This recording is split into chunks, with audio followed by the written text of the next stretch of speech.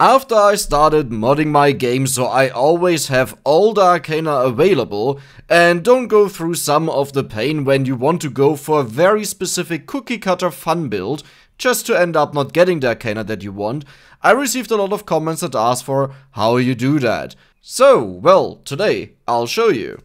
Step numero uno, you have to go into this folder, the link will be in the description, so don't worry, I'll not spell it out now, but you see it and there is a file called main.bundle.js. It is highly advised that you download Notepad++ and you use a tool in there to format a file, otherwise it's very difficult. Once you have Notepad++, just drag and drop it in, and it's open, there we go. This is what your file should look like, and as you might see, it's very complicated to deal with that.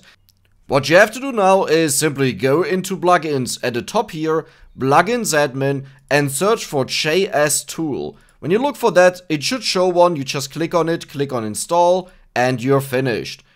Over here you should now have JS tool and you click on JS format.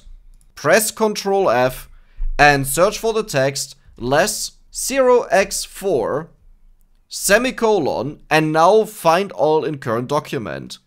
The last one should be around 42,107. However, every single patch that happens changes what this file looks like, okay?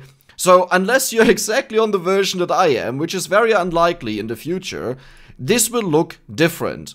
So just try to take some hints like the line number, this will of course also change, but just stuff that is around that you can find this. All you have to do is change this to a number that you feel good with. Currently there are, I think, 10 Arcana in the game at total, but you take one in the beginning, so you could make this 9, you can make this less, you can make this even 1 if you want to put a challenge on yourself and just force one on you. So, once you typed in the 10 and don't type 0x10, that is a hexadecimal, and that is something along the line of 17, I actually don't know it, but it's a very different number than you might think. So, press Ctrl S just to save the file, nothing else needs to be done. Just to quickly show it off, let's do this. And I will just go forward to 11 minutes where the enemy spawns, there we go. And there should be the Arcana chest, where's the bed? There it is, let me just kill it. And we will pick up the chest.